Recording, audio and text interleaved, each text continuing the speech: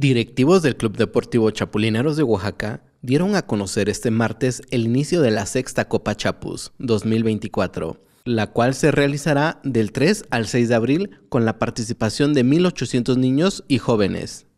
De acuerdo con Giovanni Martínez, gerente administrativo del Club Chapulineros de Oaxaca, señaló que el objetivo de la sexta Copa Chapus es impulsar la actividad deportiva entre niños y jóvenes.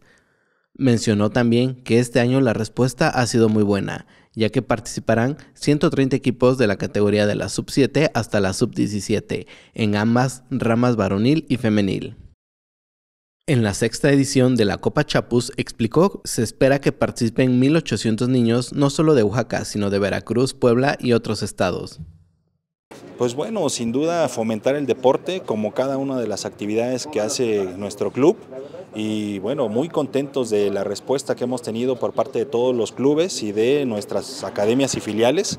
Al momento son más de 130 equipos inscritos, entonces estamos muy contentos de lo que se va a desarrollar en los próximos días en las distintas sedes. Eh, tendremos por parte de nuestra institución visorías para todos los participantes en incluirse a nuestras fuerzas básicas, sin embargo también viene un, este, tenemos un convenio a través del Club Puebla para que en, dado caso de que exista eh, algún jugador que tenga las cualidades correspondientes, tener una visoría en, este club tan importante. En tanto, el coordinador de la Copa Chapus, Rodolfo Wendulain, dio a conocer que las sedes para los encuentros serán en el Estadio Independiente MRCI, la Alfombra Verde, la Unidad Deportiva de Mitla y la Unidad Deportiva de San Sebastián la Unidad Deportiva de Tlalistac y el Polideportivo. Además, agregó se realizará un encuentro de porteros el día 3 de abril con la presencia de los arqueros de los 130 equipos que participan. En tanto, el 4 y 5 de abril se desarrollará la fase de grupos y cuartos de final, así como semifinales y finales el 6 de abril. Así es, tenemos considerados iniciar las labores deportivas desde las categorías sub-7, partiendo hasta la sub-17 en ambas ramas, femenil y varonil.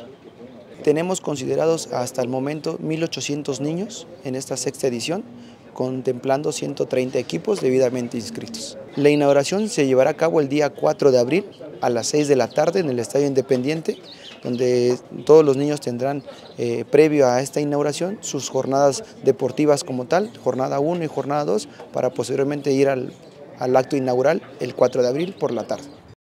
Con información de Oscar García e imágenes de Leonel Cerqueda, MBM Noticias.